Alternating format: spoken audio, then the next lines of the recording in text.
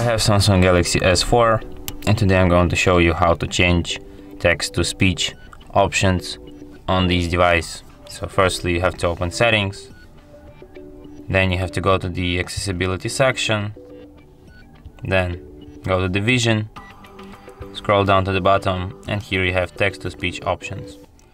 Here you can change preferred text to speech engine. You have the Samsung text to speech or the Google text to speech. You can change speech rate. You can uh, listen to an, an example. example. And you can select its language too. Yeah. And that's it. Thanks for watching.